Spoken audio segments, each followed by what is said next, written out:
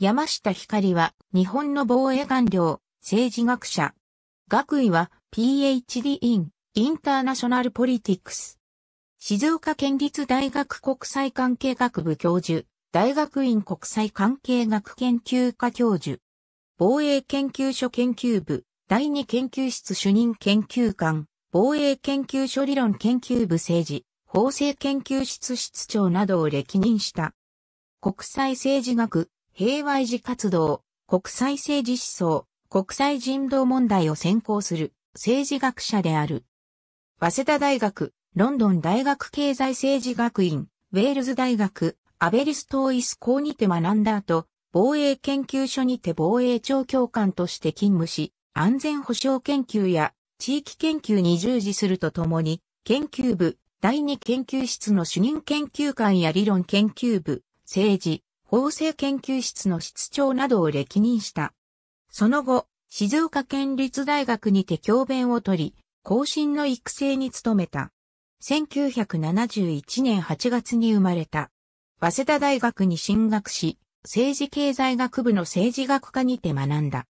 1995年3月、早稲田大学を卒業した。それに伴い、学士の学位を取得した。その後、イギリスに渡り、ロンドン大学の経済政治学院に進学し、国際関係学部にて学んだ。1996年7月、同学院の修士課程を修了した。それに伴い、修士の学位を取得した。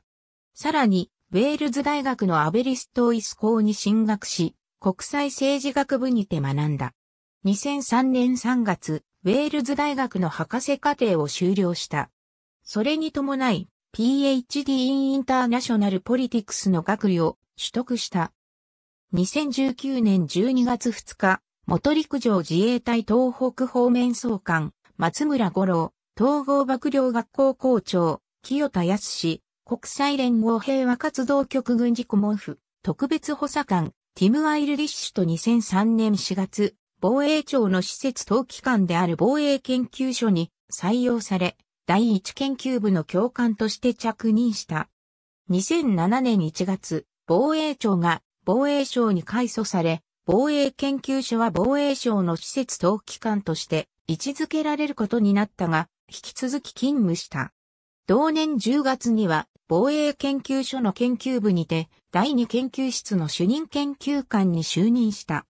なお、2008年8月よりアメリカ合衆国のコロンビア大学にてアーノルド・エサルツマン戦争平和学研究所の客員研究員を兼任することになり、翌年まで在任した。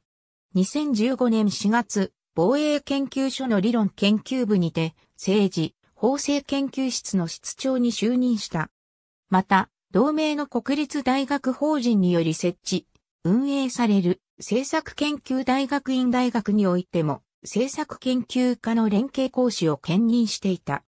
2020年4月、県と同盟の公立大学法人により設置、運営される静岡県立大学に転じ、国際関係学部の教授に就任した。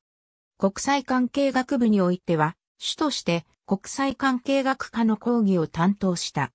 また、同時に静岡県立大学の大学院においても国際関係学研究科の教授を兼務することになった。国際関係学研究科においては、主として国際関係学専攻の講義を担当した。専門は政治学であり、特に国際政治学、平和維持活動、国際政治思想、国際人道問題といった分野の研究に従事した。具体的には、国際政治の概念と思想について研究しており、多国間での紛争管理をはじめとする国際平和協力、国際機構、組織、国家論、主権論、国際人道、人権問題といった視点で論じていた。研究成果は論文として発表しているほか、学術書や専門書なども上司している。学術団体としては、日本国際政治学会、日本政治学会などに所属した。ありがとうございます。